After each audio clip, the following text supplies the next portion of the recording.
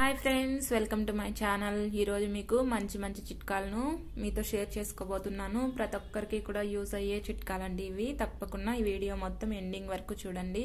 మీకు తప్పకుండా యూజ్ అవుతాయి. అందులో మొదటిది మనం ఉల్లిపాయలు కట్ చేసేటప్పుడు మనము ఉల్లిపాయలని మధ్యలోకి రెండుగా కట్ చేసి వాటర్లో ఒక టూ మినిట్స్ ఉంచి తర్వాత కట్ చేసుకోవడం వల్ల మనకి కళ్ళల్లో నీళ్ళు రాకుండా హ్యాపీగా కట్ చేసుకోవచ్చు.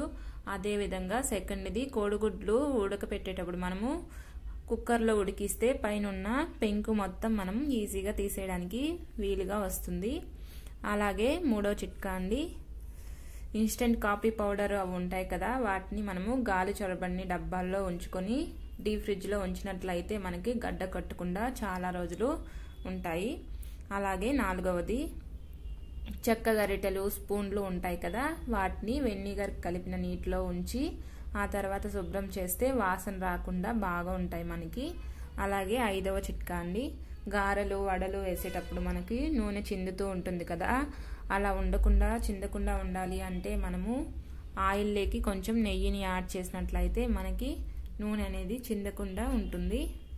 ఆరో చిట్కా అండి పెనానికి ఉన్న జిడ్డు వదలకుండా ఉన్నప్పుడు మనము వేడి నీటిలో ఉంచి పెనాన్ని రెండు గంటల సేపు ఆ తర్వాత నిమ్మ చెక్కతో రుద్దినట్లయితే జిడ్డంతా కూడా మనకు ఈజీగా వదిలిపోతుంది. అలాగే ఏడవ చిట్కా అండి. అల్లం వెల్లుల్లి ఎక్కువ రోజులు మనకు స్టాక్ ఉండాలి అనుకుంటే వాటిని పొట్లం కట్టి మనము పేపర్లో చుట్టి ఫ్రిడ్జ్లో ఉంచినట్లయితే అవి మనకి ఎక్కువ రోజులు నిల్వ ఉంటాయి. అలాగే ఎనిమిదో చిట్కా అండి. చేప ముక్కల్లో కొంచెం ఉప్పును కలిపి డీ ఫ్రిడ్జ్లో ఉన్నట్లయితే మనకు ఎక్కువ రోజులు నిల్వ ఉంటాయి. అలాగే ఒకదానికొకటి అంటుకుపోకుండా కూడా ఉంటాయి. అలాగే తొమ్మిదవ చిట్కా స్వీట్స్లో మనము చక్కెరని పొడి చేసి వేయడం వల్ల మనకు స్వీట్స్ అనేటివి మరింత టేస్టీగా ఉంటాయండి. అలాగే పదవ చిట్కా ఫ్రూట్ సలాడ్పై మనము అరకప్పు నిమ్మరసాన్ని వేసి ఉంచితే చాలా కాలం వరకు నిల్వ చేయడానికి యూజ్ అవుతుంది. అలాగే పదకొండవ చిట్కా అండి. ఫ్రిడ్జ్లో ఉంచిన నిమ్మపండును ఒక పది నిమిషాలు మనం వేడి నీటిలో ఉంచి రసాన్ని పిండినట్లయితే మనకు రసం అనేది బాగా వస్తుంది. అలాగే పన్నెండవ చిట్కా ఉడికిచ్చిన తర్వాత కూడా కూరగాయలు రంగు పోకుండా ఉండాలి అంటే ఉడికిచ్చినప్పుడు కొంచెము అందులోకి ఆలివ్ ఆయిల్ అండ్ పసుపుని మిక్స్ చేసి ఉడికించినట్లయితే మనకు కూరగాయలు రంగు పోకుండా అలాగే ఉంటాయండి. అలాగే పదమూడవ చిట్కా అండి. వంకాయ ముక్కలు నల్లబడకుండా ఉండాలి అంటే వాటిలో కొంచెము వంకాయ ముక్కలు కోసి వేస్తాం కదా ఆ నీటిలో కొంచెం పాలు పోయడం వల్ల మనకి ముక్కలు నల్లగా అవ్వకుండా ఉంటాయి. అదేవిధంగా సాల్ట్ వేసి ఉంచడం వల్ల కూడా వంకాయ ముక్కలు నల్లగా అవ్వకుండా ఉంటాయి.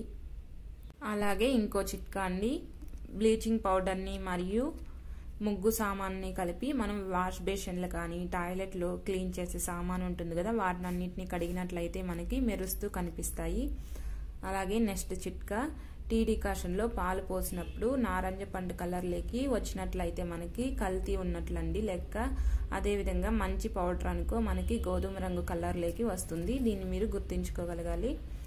అలాగే నెక్స్ట్ చిట్కా అండి బొంబాయి రవ్వ కానీ టీ పొడిలో కానీ ఒక చిన్న అయస్కాంతం వేసి ఉంచండి. అందులో మీకు ఇనుప రంజులు ఏమైనా కల్తీ ఉన్నట్లయితే అయస్కాంతానికి అతుక్కుపోతుంది.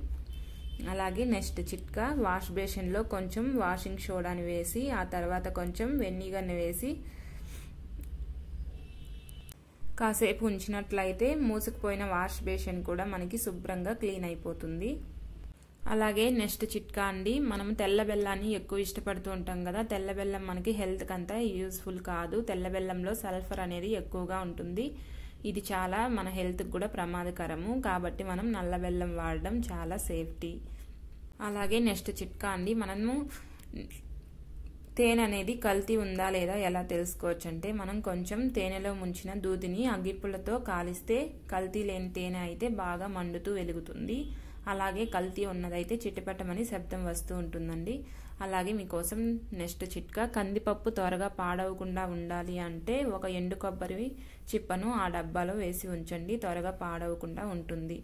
అలాగే నెక్స్ట్ది వంటగదిలో ఈగలో వెడత ఎక్కువగా ఉంటే పసుపును కలిపిన వాటర్ని వంటగదిలో శుభ్రం చేయండి. అలా శుభ్రం చేయడం వల్ల పసుపు వాటర్తో మనకి ఈగల బెడద అనేది తప్పిపోతుంది.